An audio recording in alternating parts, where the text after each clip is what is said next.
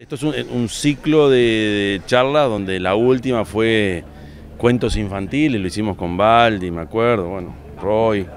Este, hicimos otro hace ya un tiempo sobre el tema de seguridad en Atlántida el año pasado. Hemos hecho otros con, politólogos sobre el tema de la, sociedad rioplatense, en fin, esto es un ciclo de, y teníamos planificado hacer uno también con, Daniel por todos los temas que, tenemos en común. Eh, incluso le ponemos un nombre muy particular, Juntos y Entreverados, este, para, demostrar también que esto es un involucramiento entre, entre, dos, entre dos gestiones que tienen que articular sí o sí.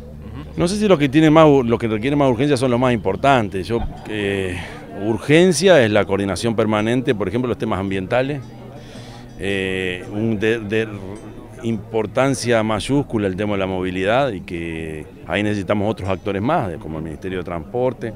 Ahora estamos en las puertas de la concreción por parte de Montevideo de la unidad alimentaria y ya nos convocaron para que articulemos, ya que los productores de canelones venden en el mercado modelo y ahora van a tener que desplazarse ahí y está muy bueno que coordinemos.